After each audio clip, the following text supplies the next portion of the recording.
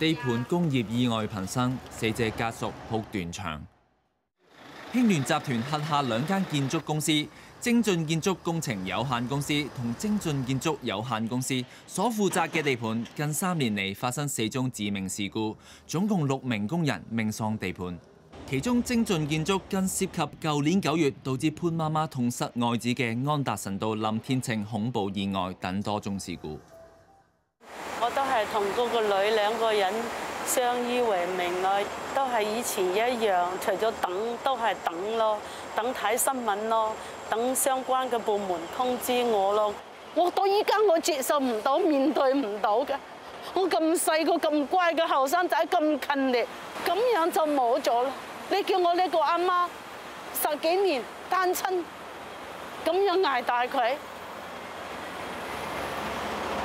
呢一呢一年，自從佢走咗嗰一日，我個天就跌咗落嚟啦。我日日生不如死咁過，聽到精進兩個名我都好憤怒啦，電視機我都想打爛埋啦。前日政府宣布精進工程已經釘牌，但令潘媽媽痛不欲生嘅，同係公司精進建築暫時仲未停工，政府仍處理緊佢嘅牌照事務。我覺得呢個精進建築啦，更加唔應該續牌俾佢啦。佢個地盤不停咁出事，我覺得政府應該嚴肅處理，冇俾呢啲害群之馬保持咗一個僥倖嘅生態嘅公司繼續生存落去咯。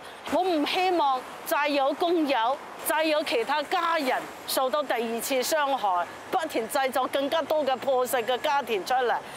有人認為精進建築仲有好多未完成嘅項目，驚釘牌影響工程進度。潘太就咁認為。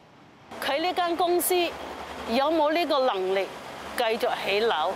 咁工人嘅命緊要啊，定還是你要交樓緊要啊？即刻停止佢，應該點樣交接嘅交接？應該俾邊間公司啊繼續佢哋去搞掂佢？工人有一個安全嘅場所翻工，再去做嘢，去起樓。